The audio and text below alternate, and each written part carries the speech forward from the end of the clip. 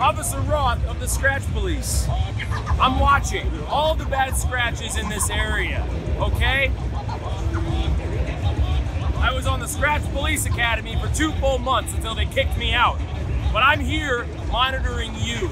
No bad scratches, no loud noise, and everything will be okay.